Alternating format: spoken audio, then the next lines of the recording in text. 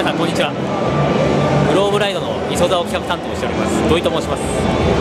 あの今回ですね私が紹介させていただく竿はメガディス。昨年の秋に発売になりましたけれども、まあ、どんな竿かというと胴にしっかり乗せて粘りで取ると。どんなでかいやつでもこの竿の粘りで取れますのでぜひそれ使ってみてください。よろしくお願いします、